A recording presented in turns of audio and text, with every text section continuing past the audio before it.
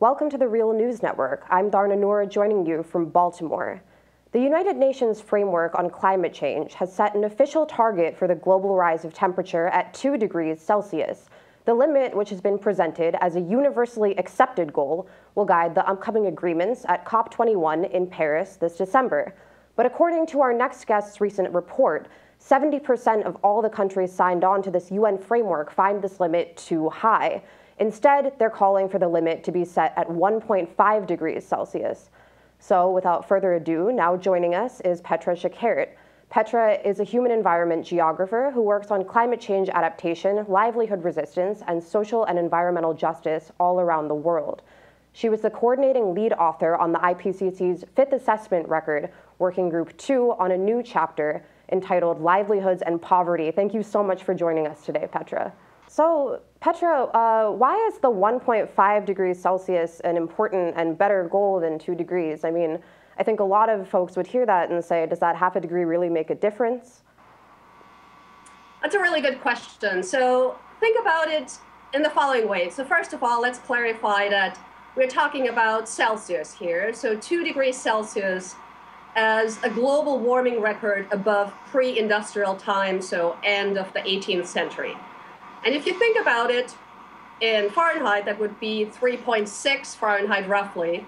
1.5 indeed doesn't seem like a whole lot of a difference, but think about this temperature target as a global average.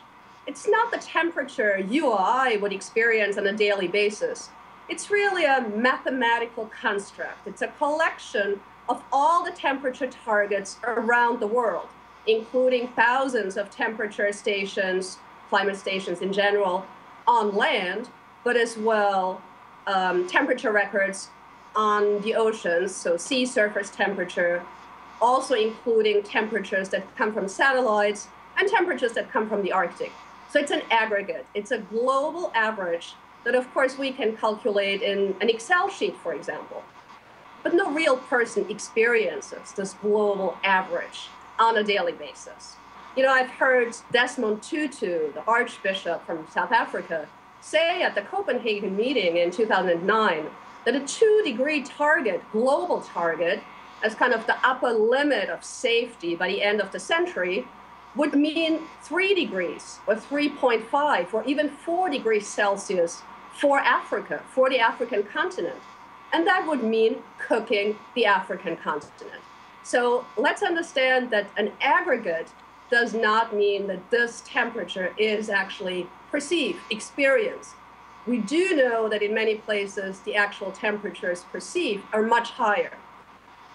We also know that um, the temperature the temperature target two degrees in this sense um, really summarizes or signals a whole bunch of of climate effects that are not necessarily just related to temperature. Expressions of climate change and the temperature target summarizes those simply because we have a lot more data on temperature records going back 100, 120, 130 years than we have records on extreme events.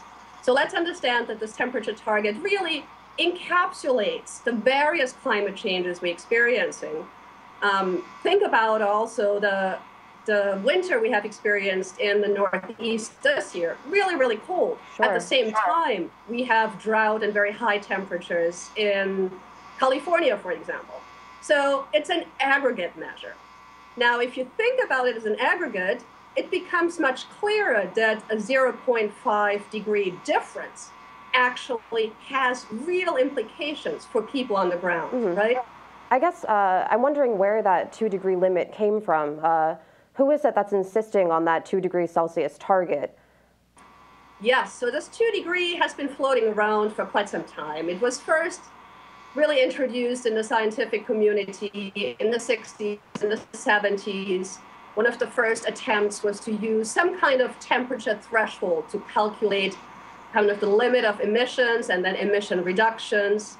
It was later circulated to think about differences between moderate and acceptable climate change and dangerous and really disturbing climate change, but really just as an orientation. Um, kind of 20 years ago, the European Union used it as kind of the threshold for maintaining the health of coral reefs. And, you know, it just got anchored in people's minds and it's easy to grasp. It's a round number, so people kind of rallied behind it. Mm-hmm. Um, more recently, in 2009, at the Conference of the Parties to the UN Framework Convention on Climate Change in Copenhagen, the two degree target was accepted as the threshold between safe and potentially dangerous anthropogenic interference with the climate system. And that's when it became really contested, especially from countries who are small island states, but also many of the African countries. And many of these countries, as a matter of fact, as you said, roughly 70% of all the countries who are part of the UN said 1.5 would be much more appropriate. And so uh, you've mentioned that some countries will be affected differently than others by these increases in temperatures, uh, that some might have more to lose than others. Who will be affected the most by rises in temperatures beyond 1.5 degrees Celsius? Well, let's I would say let's think about it that way. There is absolutely nobody who is immune to the negative impacts of climate change you're right, there are certain countries that are more vulnerable simply because of their exposure.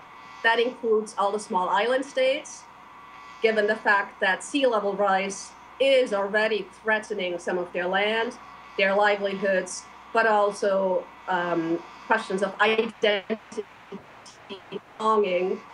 Um, deltas, like in Bangladesh, again exposed to sea level rise, are certainly vulnerable simply because of their location. But the way we understand vulnerability today is not just limited to countries. It's really about being, being potentially exposed to harm, having a propensity, a predisposition to be negatively affected and be harmed.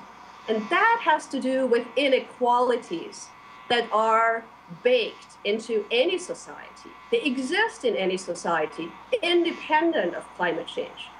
And very often, these inequalities are linked to uh, categories like gender, age, race, class, ethnicity, and so on. You know, think about the heat waves 70,000 people died.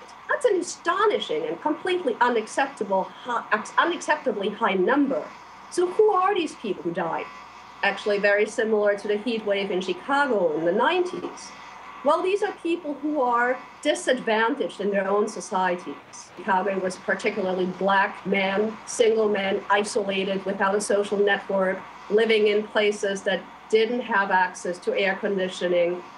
This is what we're talking about when we think about vulnerability. So, yes, there are countries that are more vulnerable than other countries, but we are particularly concerned with people, individuals in their own society who are disadvantaged, who experience multiple vulnerabilities. But of course, we all realize that we have poor and disadvantaged, disadvantaged people in our own country, in many countries in Europe. And these are the ones who are most vulnerable. These are the ones who experience climate change already significantly.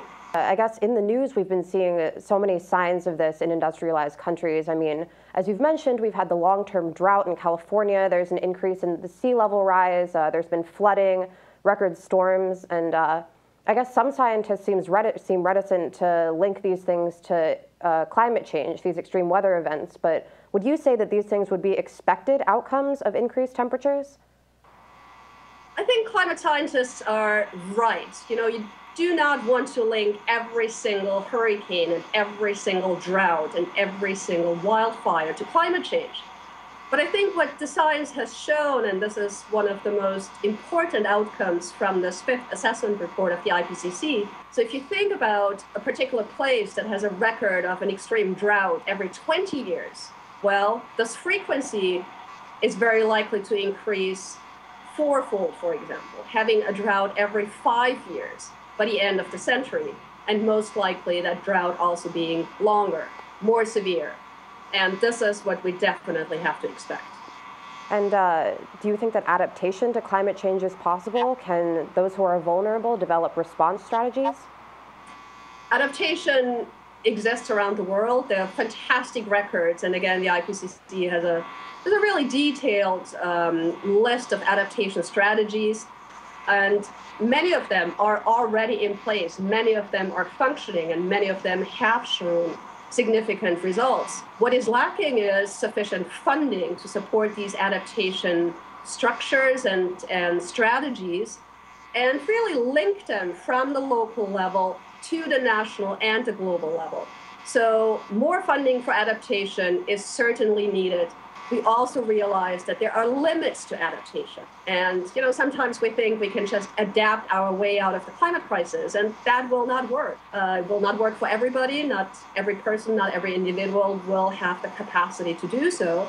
And that, of course, is true for ecosystems and species as well.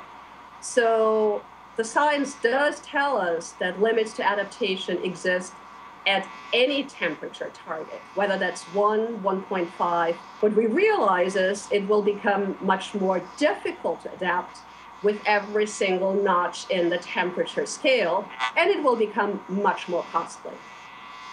Well, Petra, I hope that we hear from you again before COP21 in December. Uh, and thank you so much for joining us today again. You're very welcome. And thank you for joining us on the Real News Network.